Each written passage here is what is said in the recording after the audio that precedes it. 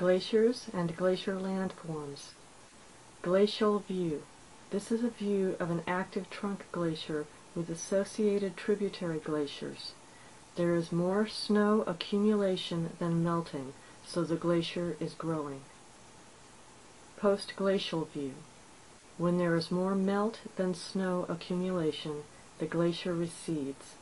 The landscape reflects the years of glacial erosion. Main Glacier. This is the largest flowing area of the glacier. Medial moraine. When a small tributary merges with the main trunk glacier, the debris on the lateral moraines becomes lines of material carried along in the main glacier. Truncated spurs. A glacier will cut away layers of rock and surface soil as it moves downhill. Truncated spurs can be seen where hillsides are bisected by the glacier.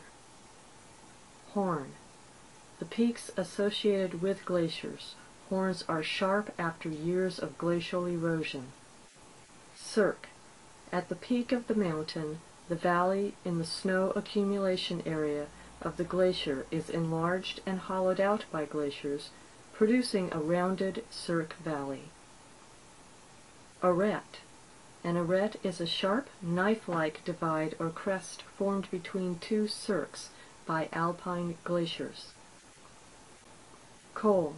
A natural pass or low notch in an arête between opposed cirques. Paternoster Lakes. These are a series of lakes strung together by a single stream or braided stream system. These occur where a glacier has receded and is created by terminal moraines. Hanging Valley. This valley is formed by a tributary that ends at a cliff above a larger trunk glacial valley. Hanging Waterfall.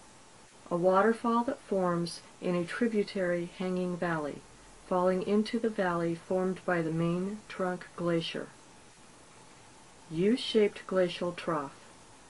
After the trunk and tributaries of a glacier recedes, a U-shaped glacial trough remains.